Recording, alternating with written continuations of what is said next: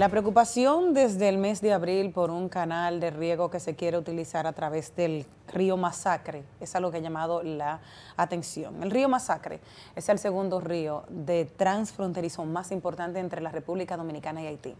Las autoridades haitianas habían decidido y querían hacer un canal de riego a través del río Masacre para poder ayudar eh, con una propuesta del Ministerio de Agricultura haitiana. Se quería regar 3.000 tareas de, tierra del lado haitiano. Aquí se habló con las autoridades y se habían detenido los trabajos precisamente porque estaban teniendo problemas entre República Dominicana y Haití. Nosotros estábamos hablando hace unos meses de que esta situación no se podía dar porque desviar era quitar parte del cauce, quitar parte de la vida fronteriza que tiene alrededor de este río. Ellos querían hacer una represa, ellos querían poder hacer este canal. Sin embargo, las autoridades ah, estuvieron hablando, tanto el canciller dominicano como el canciller Claudine Joseph allá en Haití, y, estuvieron esa disputa. Luego de la muerte, el pasado 7 de julio, de Jovenel Mois, los trabajos se detuvieron en un principio. Pero es cierto, ha sido de una manera imprudente que el canciller Claudine Joseph ha llamado al primer ministro Ariel Henry y le dijo que ellos no tienen que acatarse al, mandato que le da un presidente extranjero para no hacer la obra que ellos tenían en, pensado. Haití no tiene autoridades para muchas cosas. Sabemos que los 400 mabosos son los que tienen el control de allá de Puerto Príncipe y hay 71 eh, bandas que actualmente tienen el control de todo el territorio haitiano. Sin embargo, para hablarme del agua, aparece el canciller Claudine Jusset. Esto llama mucho la atención. Ya se ha hablado con las autoridades dominicanas que no se puede hacer por el problema que tú puedes hablar. Si vemos em, trabajos que se han hecho aquí de, documentales, uno que hizo Nasla Bogar, que fueron la parte haitiana, la parte dominicana, de cómo el plástico estaba rodando a través y la contaminación que se había entre los dos países, es impresionante la cantidad del mar de plástico que había. Si hablamos de muertes por mil cortes, hecha por el cineasta y también presidente de la Fundación Grupo Punta Cana, eh, Jake Kill, que hablaba de la situación, de cómo se iba depredando parte de lo que era nuestra cordillera y parte de lo que era cerca del Pico Duarte, porque como no se miraba esa parte, había una deforestación importante en la sierra de Bauruco, él hizo ese llamado de donde había deforestación en República Dominicana. Fue un trabajo arriesgado, precisamente por la muerte de uno de los guardabosques, y están ahí.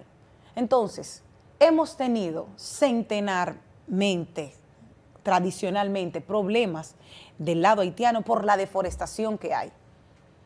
Y tú dices, hay un río que ofrece la posibilidad de ayudar a ambas naciones, ¿qué tenemos que hacer? Incentivar a la reforestación, incentivar a cuidar los recursos que hay, no a desviar y a disminuir la cantidad de agua que se tiene para, para beneficiar uno de los dos lados. El río pasa justamente en la frontera entre las dos naciones. Entonces, cualquiera de los dos que utilice el río de un lado o del otro, que pueda afectar a la otra mitad, está mal, porque es que se comparten. Entonces, de este lado se está haciendo, de parte de República Dominicana, se está haciendo lo posible por la reforestación. Se hace lo posible por estar nosotros tratando de, educar a la población, de, de ser un poco más amigable con el medio ambiente. Y en un momento como este, lo menos que se necesita es incendiar las relaciones ya caldeadas entre República Dominicana y Haití. Y digo caldeadas porque él tuvo hace unas semanas un enfrentamiento con el presidente Luis Abinader, en la que Luis Abinader hablaba de la inseguridad que había y decía que aquí también había inseguridad ciudadana. Le respondía a través de un tuit el canciller Claudine Josep. Entonces, ya las autoridades han hablado de la situación. Haití necesita recomponerse, Haití necesita tener otras prioridades ahora mismo. Recuerden que no habían, no, había, no podían ir a hospitales los haitianos porque no había combustible el otro día. Entonces tienen demasiados problemas.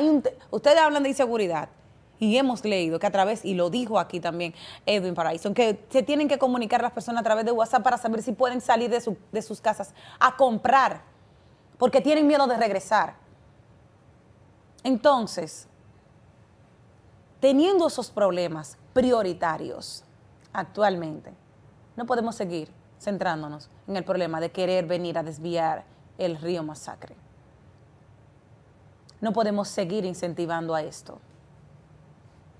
Lo que se tiene que incentivar es que vamos a cuidar los recursos que hay, porque si no se olvidan, se habla que la guerra en muy poco tiempo no será por petróleo, no será por tierra, será por agua. Hasta aquí mi comentario el día de hoy.